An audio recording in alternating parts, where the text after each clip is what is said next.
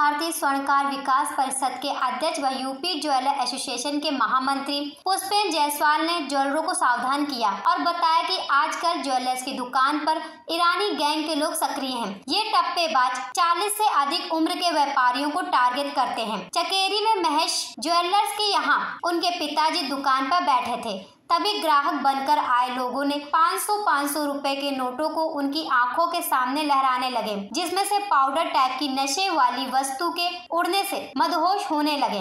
तब उनके गले से और गले में पहने हुए करीब चार लाख का सोना पार कर दिया।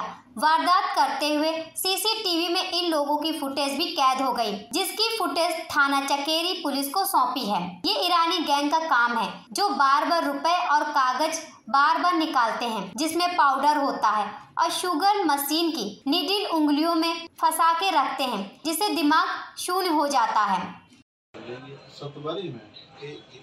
फ़ोटो निकलवा ले। काउंटर में रखी थी जोड़ने के लिए टूटी थी हमने रख दिया तो सब कुछ खोल खाल के देख लिया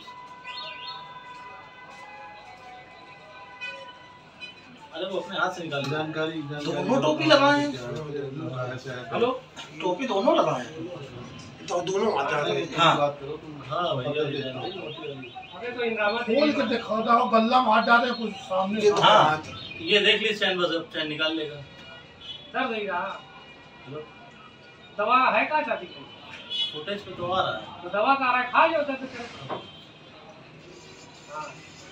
अब नहीं वो मसाला हाँ भी तो निकाल देखा जाएगा मुझे। हाँ। गया किधर इधर। Bureau report news hub Bharat.